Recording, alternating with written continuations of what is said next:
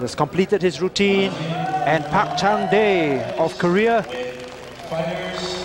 Well, he knows his target. He's going all out to get it.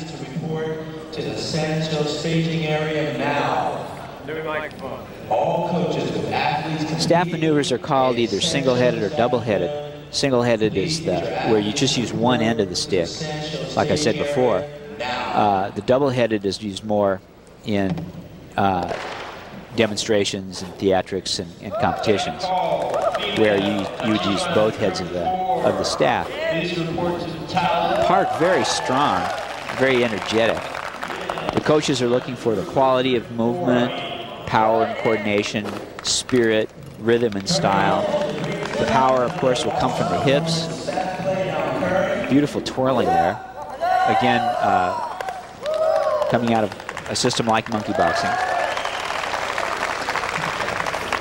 Park, of course, a very, very experienced practitioner.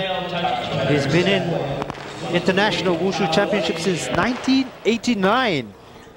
And he's been at the Asian Games and the first and second World Wushu Championships as well. So he knows what's expected of him if he intends to become the champion. Yeah, Park is a, a very experienced competitor, very strong.